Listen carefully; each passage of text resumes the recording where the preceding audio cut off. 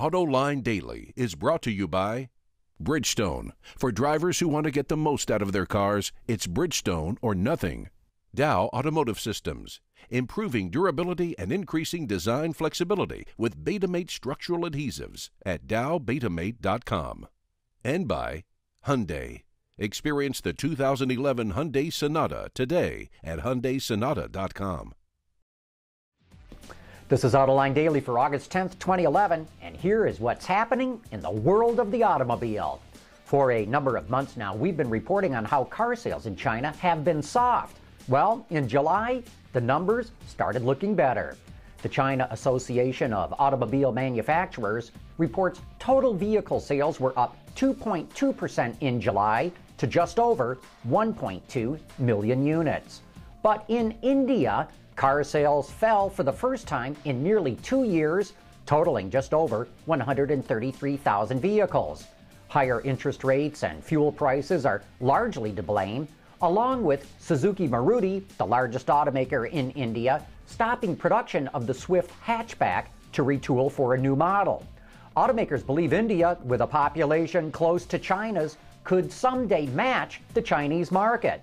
But as these figures show, China's car market is 10 times bigger than India's right now, and 10 times is a lot. And just to show you how important the global market is, General Motors says it expects sales in the Middle East to soar 22% this year. And amazingly, GM says Iraq is the fastest growing market in the region. GM says that outside of the BRIC countries, Brazil, Russia, India, and China, the Middle East is its seventh largest market in the world. But to put that in perspective, GM expects to sell about 150,000 vehicles in the Middle East this year, a little over one month's sales in India. Speaking of GM, it plans to chop the number of platforms that it uses globally in half.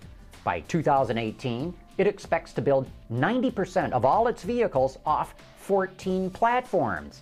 It currently has about 28. It also wants to cut its engine families in half. Here's some of my Autoline insight. When Jack Smith was CEO of GM in the mid 1990s, he embarked on a similar program to slash platforms and powertrain variants around the world.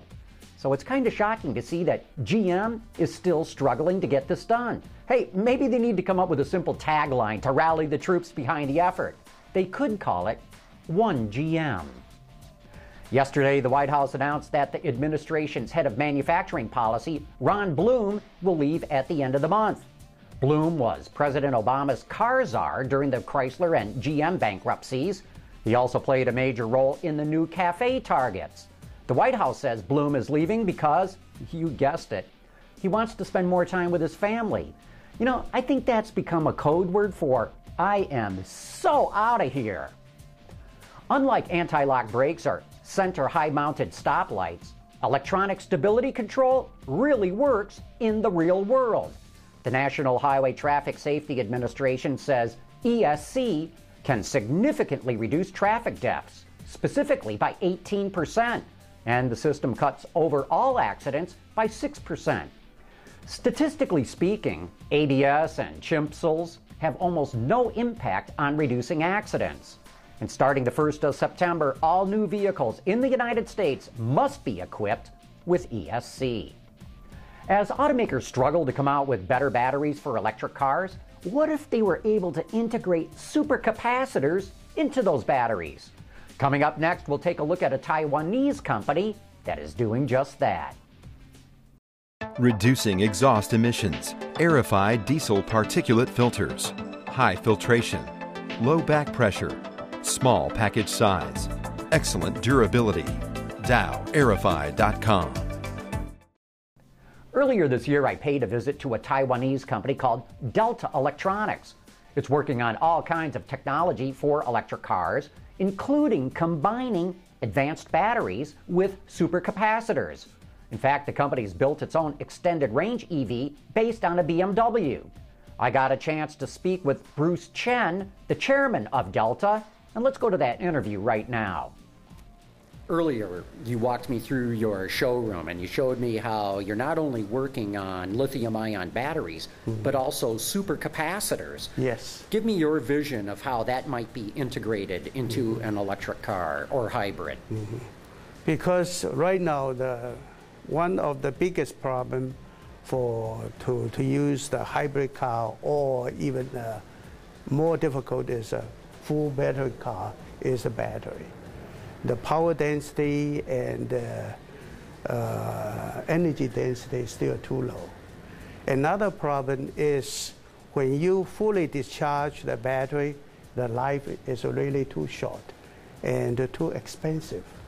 So we, we feel if we put the uh, battery together with the um, supercapacitor, can be charged more quickly and also can be when you start the car, you need higher current.